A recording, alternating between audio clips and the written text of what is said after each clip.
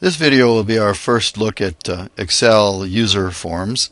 Excel user forms allow us to build what looks like a real program within the Microsoft Excel environment. And when I say that, I mean you can actually use user interface elements like buttons and text boxes and checkboxes and radial buttons and so on and have the user interact with your Excel environment through your user defined user form because that's a little redundant. To do this, of course, we have to be in the Visual Basic environment, so let's go in there.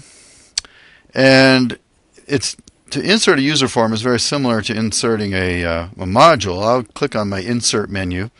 And the Insert menu, of course, gives you the user form and the module and class module options. So instead of inserting a module, we'll just insert a user form.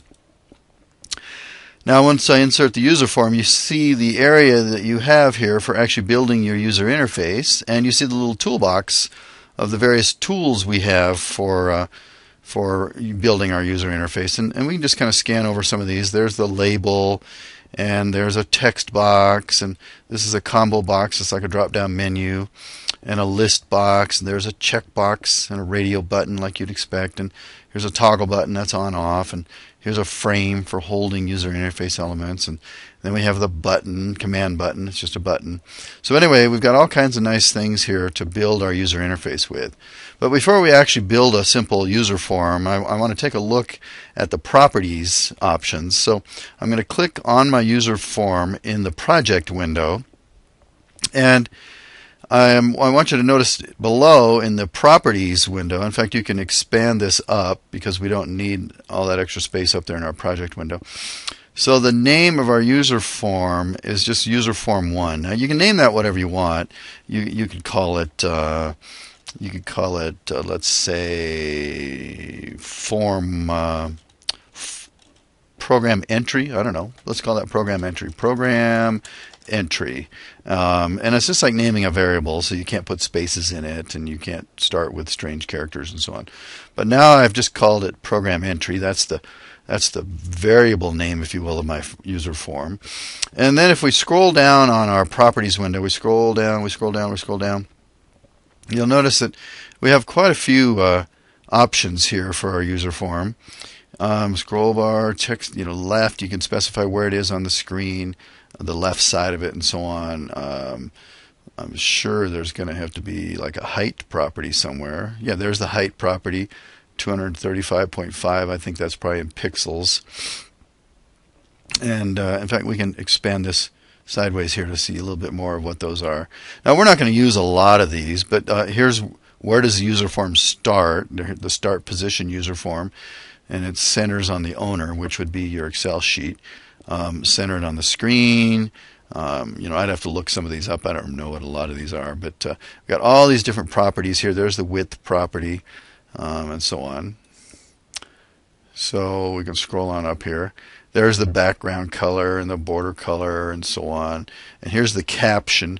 And you'll notice right at the top of my user form over here, the actual user form, it says user form one. So we, we can change the caption of that. We can call this, you know, Peter's form.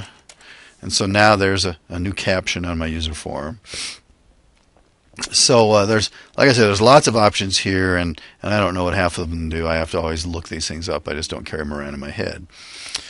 So let's take a look at uh, actually building something on our user form, and we're going to start simple, like I said. So first thing we're going to do is we're going to we're going to put a text box on the user form. So I'm just going to click over here on the AB button, and then I come over to my user form, and I'm going to I'm going to just drag out a text box, and there's my text box.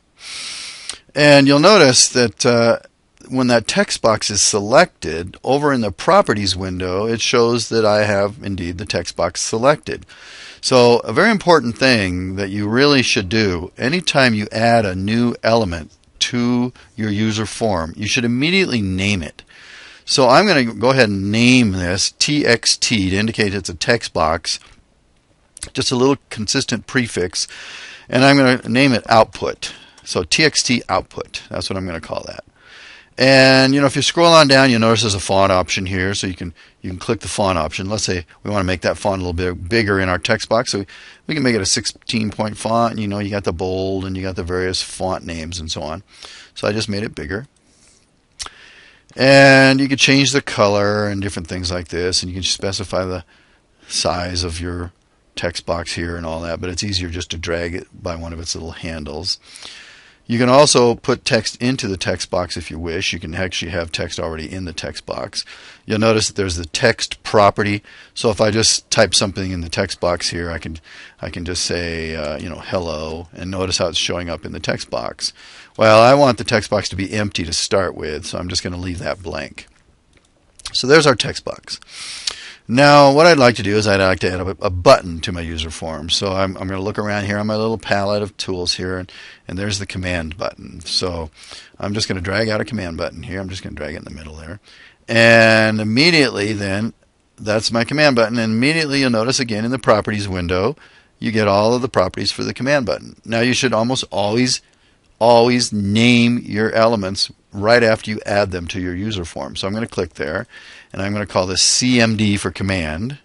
You could call it BTN. I, I, maybe I actually like BTN better. And so I'm going to call this BTN do it, you know, because it's going to it's going to be the button that does stuff. Um, so that's the name of the object, if you will. And then again, you have the font option. So if you want to change the font of your text there, you can make that a little bit bigger. You can make it bold if you want it to stand out. So there's the text. And notice also the, the label here on my button. Well, remember that was the caption of the form. Well, here we have the caption of the button. So I'm just going to change that to click me. And so there's our there's our little user form. It's got a text box and it's got a button. Now, here comes the kind of interesting part. What we'd like is we'd like a little procedure to execute when somebody clicks on that button right there. So what we need to do is we need to go into the code for this button. Every user interface element you add to your form actually has its own code. So if I double click the button, let's go ahead and see what happens. Well, I double click the button and immediately you'll notice that it opens up a, a private sub, but don't worry about the fact that it's private right now, but it's a subroutine, and it names it the same as my button. That's one reason why you want to name the elements as soon as you add them to your user form. Because if you forget and you come back and you name it later, then you're going to have a bunch of code that has different names than your actual button does, and things get really crazy. So name your user form elements as soon as you add them. So this is the click event, if you will for that button. And so what I would like to do is I'd like to change the text property of my user form. So I'm just going to say, okay, here's my here's my um, text output, and I would like to change the text of that particular object, and it has a text property there. I'd like to change the text of that to say "Hello World" when the user clicks this button. So I'm going to go back into the code there, and I'm going to I'm going to give the name of my text area. My text area was txt and if I and if I just uh, hit the control spacebar, there's nothing else that starts with txt, so it puts the rest of the name in there. So it's called text output. That's the name of my text box. And I want to change its text property. So I say dot te and it pops up the little pick list. And so I want to say text output dot text, and that's just a string. So I'm going to say text output dot text is set equal to hello world.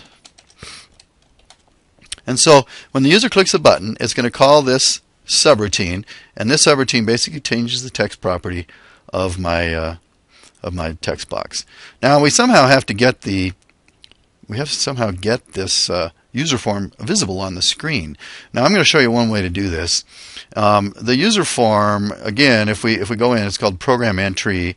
Um, so that's the name of my user form, and I'm going to go to the this workbook. And if I double click on this workbook up above here, you'll notice it shows me that, you know, here's the workbook option.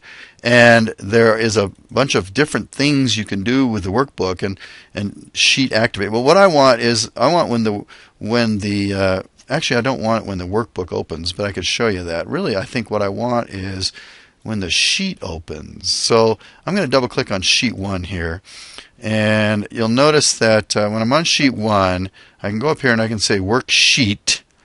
And then when I can say worksheet and I can scroll through all of the options in the worksheet here. So when the worksheet is activated, there's a subroutine for the worksheet activated.